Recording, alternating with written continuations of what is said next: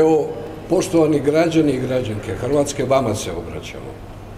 Dakle, mi saborski zastupnici, ne zastupnici oporbe,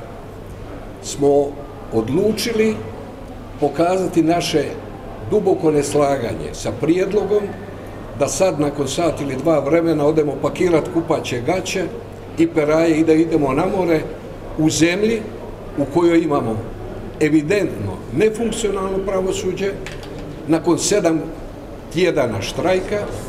u kojem stoje predmeti, u kojem treća grana vlasti ne funkcionira, u zemlji u kojoj se priznaje